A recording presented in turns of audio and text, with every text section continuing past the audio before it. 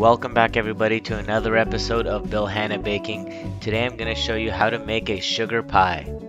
If you've never heard of sugar pie before, it's a popular pie here in Canada, specifically in the province of Quebec and other French Canadian communities. So let's get started. You're going to need one pie crust. I already have my pie crust from the last video that I made. You can use a store-bought, but I encourage you to make your own.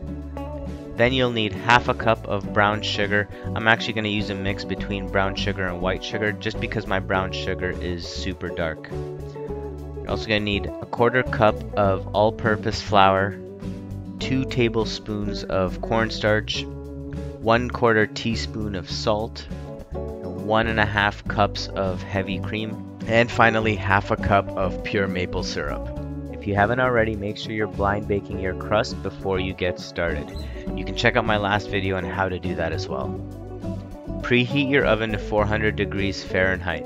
You're going to focus on thickening up the mixture, so increase your heat to medium high or high just to get it thick. It may be thin at first, but that's why you're raising the temperature. The boiling will activate the cornstarch and flour to help it thicken. You'll notice mine didn't even boil that much, if any, but I did notice it start to thicken up, so that's when I realized it was done.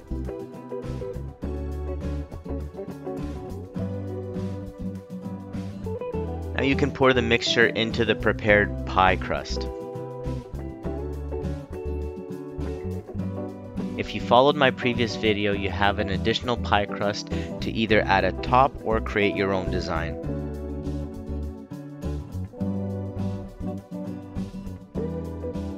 I'm also going to add a quick milk wash onto the pie crust that's exposed. What that'll do is it'll help it brown quicker in the oven. This is an optional step. You'll notice it will brown the pie a lot more than if you just left it without the wash. Now the pie is ready for the oven.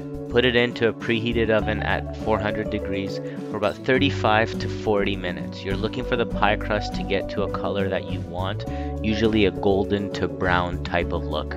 And that's it, you're done. Now you can dig into this delicious pie.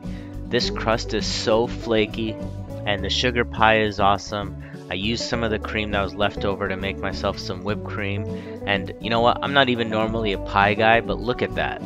Hopefully you enjoyed the pie as much as I did. See you when I see ya.